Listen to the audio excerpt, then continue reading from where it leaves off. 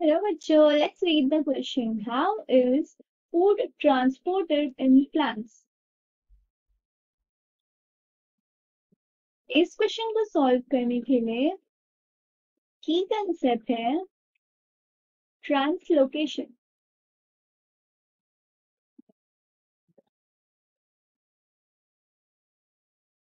Translocation क्या होता है?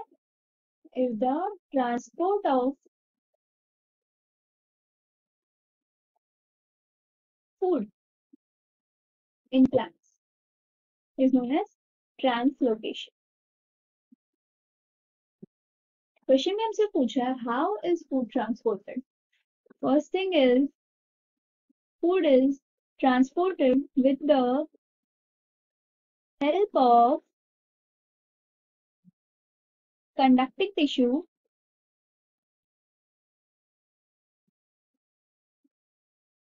which is phloem and the process by which this transport takes place is known as translocation.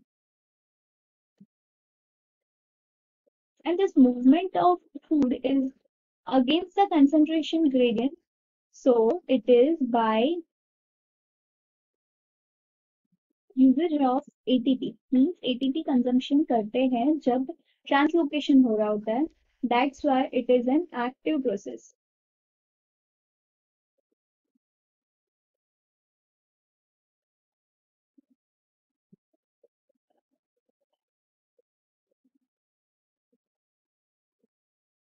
against the concentration gradient.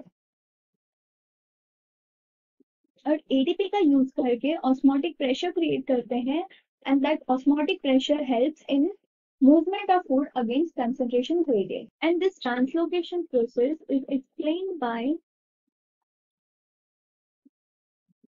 pressure flow hypothesis. Explain translocation is an active